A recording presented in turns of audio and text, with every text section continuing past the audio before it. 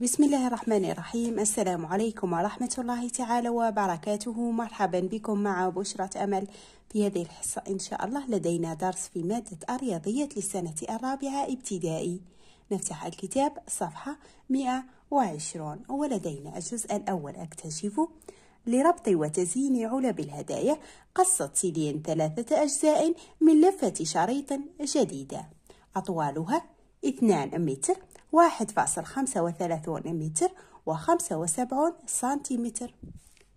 ما هو الطول الكلي للشريط المستعمل لربط وتزيين الهدايا؟ إذا يا أبطال سنجيب عن السؤال. قبل الإجابة عن السؤال لدينا خطوات سنقوم بها. لاحظوا معي هنا لحساب طول الشريط المستعمل. لدينا هنا أولا الطول الكلي. يعني لك كلمة مفتاحية. نعم لدينا عملية جمع أحسنتم. لحساب طول الشريط المستعمل أجمع الأجزاء. لدينا طول الجزء الأول زائد الثاني زائد الثالث. ولا أنسى التحويل إلى نفس وحدة القياس.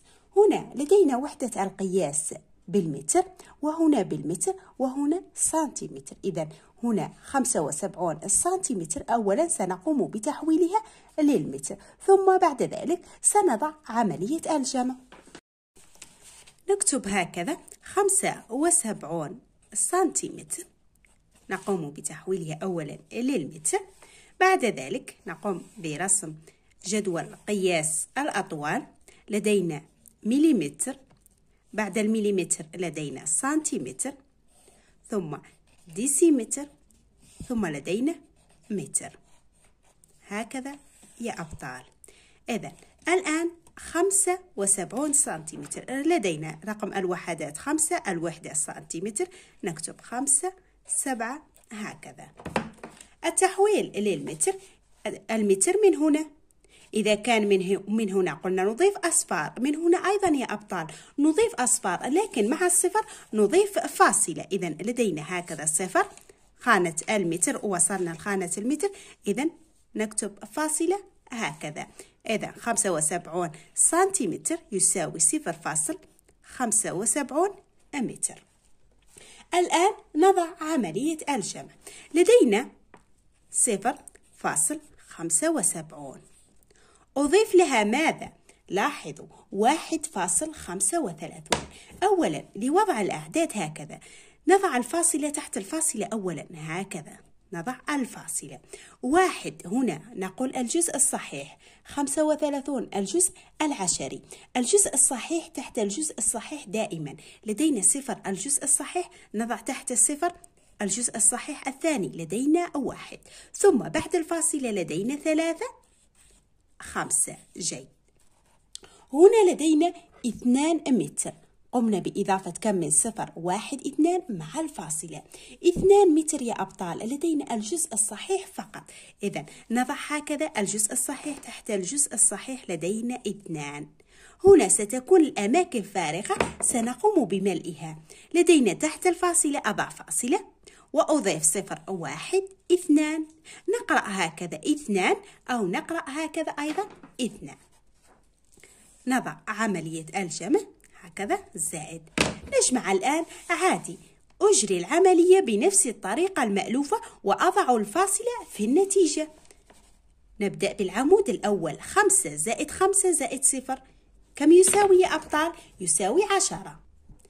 نكتب صفر هنا.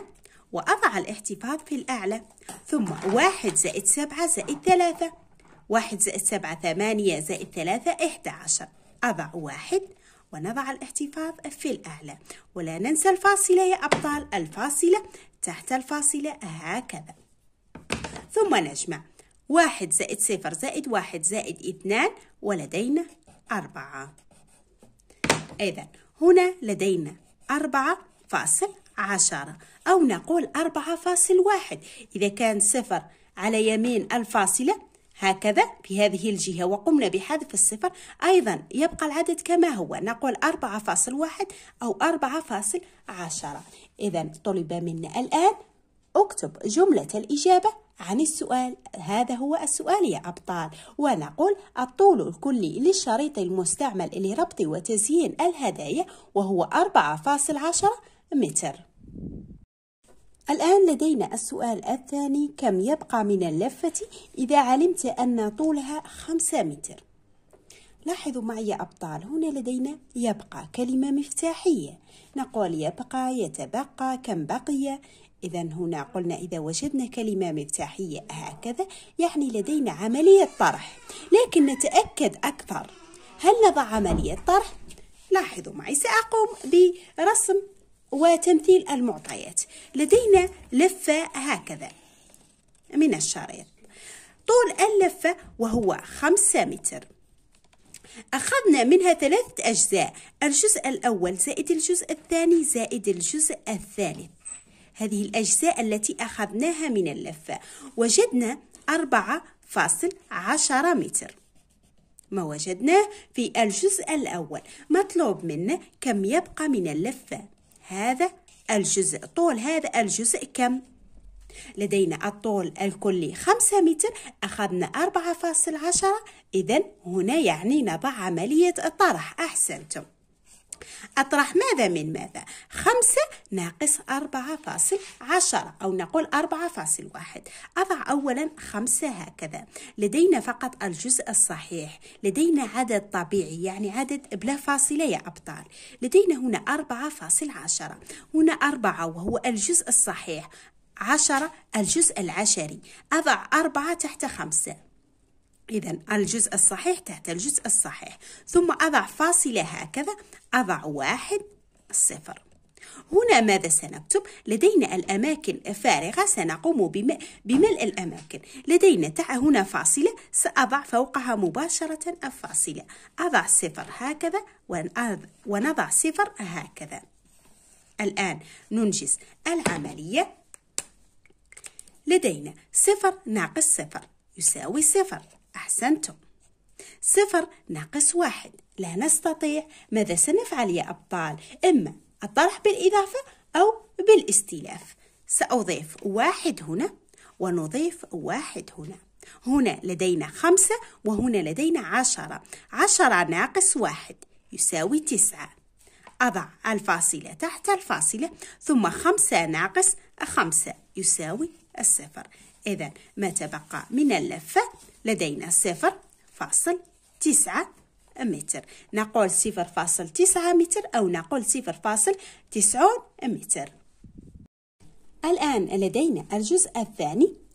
أنجزه ضع العمليات ثم أنجزها على كراسك. لدينا عمليات جمع ولدينا عمليات طرح. هنا من دون وضع عمليات الطرح أحسب. سنقوم بإنجاز عمليات الجمع فقط. لدينا العملية الأولى 4.68 زائد 3.95 لدينا أربعة الجزء الصحيح ثلاثة الجزء الصحيح وهنا الجزء العشري وهنا الجزء العشري. نقوم أولا بكتابة العدد الأول. لدينا أربعة فاصل ثمانية وستون. نضع الفاصلة تحت الفاصلة أولا قبل كتابة العدد الثاني ثم لدينا ثلاثة الجزء الصحيح يعني اللي بعد الفاصلة مباشرة لدينا ثلاثة الجزء الصحيح تحت الجزء الصحيح. بعد الفاصلة لدينا تسعة ثم خمسة. أضع زائد هكذا ونضع خط يساوي. ثمانية زائد خمسة. يساوي ثلاثة عشر. أحسنتم. نكتب ثلاثة أضع واحد هنا الاحتفاظ. ثم واحد زائد تسعة زائد ستة. يساوي كم يا أبطال؟ سبعة عشر. أو عفوا ستة عشر. يساوي ستة عشر. نضع الاحتفاظ. لا ننسى الفاصلة يا أبطال. ثم واحد زائد أربعة زائد ثلاثة يساوي كم؟ يساوي ثمانية. إذا لدينا ثمانية فاصل ثلاثة وستون. العملية الثانية تسعة فاصل أربعمائة وثلاثة وخمسون زائد اثنا عشر فاصل اثنان وثلاثون. نقوم بكتابة العدد الأول. أولا لدينا تسعة فاصل أربعمائة وثلاثة وخمسون. نضع الفاصلة تحت الفاصلة. أحسنتم. نبدأ بالجزء الصحيح. لدينا اثنان واحد. اثنان رقم الوحدات واحد عشرات. هنا فقط لدينا التسعة إذا هنا تسعة وحدات. نضع الوحدات تحت الوحدات. اثنان ونضع واحد هكذا. ثم بعد الفاصلة لدينا بعدها مباشرة لدينا ثلاثة. ثم اثنان. نضع الزائد هكذا. ماذا سنفعل الآن؟ نقوم بملء الأماكن الفارغة بأصفار نضع صفر هكذا. لا يتغير العدد. نقول تسعة فاصل أربعمائة وثلاثة وخمسون وهكذا أيضا تسعة فاصل أربعمائة وثلاثة وخمسون. ونضع صفر هكذا. اثنى عشر فاصل ثلاثمائة وعشرون أو نقول اثنى عشر فاصل اثنان وثلاثون. نفس العدد. الآن نجمع عادي. ثلاثة زائد صفر ثلاثة. خمسة زائد اثنان سبعة أربعة زائد ثلاثة سبعة. نضع الفاصلة تحت الفاصلة. تسعة زائد اثنان لدينا إحدى عشر. نضع الاحتفاظ واحد زائد واحد اثنان. إذا لدينا واحد وعشرون فاصل سبعمائة وثلاثة وسبعون. العملية الثالثة اثنان وخمسون زائد ثمانية وثلاثون فاصل خمسة وأربعون. نضع العدد الأول. نقوم بكتابته اثنان وخمسون. العدد الثاني ثمانية وثلاثون فاصل خمسة وأربعون. نبدأ أولا بكتابة الجزء الصحيح ثمانية وثلاثون. اثنان وخمسون نكتب ثمانية وثلاثون هكذا. ثم نضع فاصلة. بعد الفاصلة لدينا أربعة خمسة. نكتب أربعة أولا ثم خمسة. ونضع زائد هكذا يساوي لدينا هنا الأماكن الفارغة. ماذا سنفعل؟ الفاصلة دائما تحت الفاصلة. نقوم بوضع فاصلة هنا ونقوم بملء الأماكن هنا. صفر الصفر. الآن لدينا صفر زائد خمسة خمسة. صفر زائد أربعة أربعة. الفاصلة تحت الفاصلة دائما.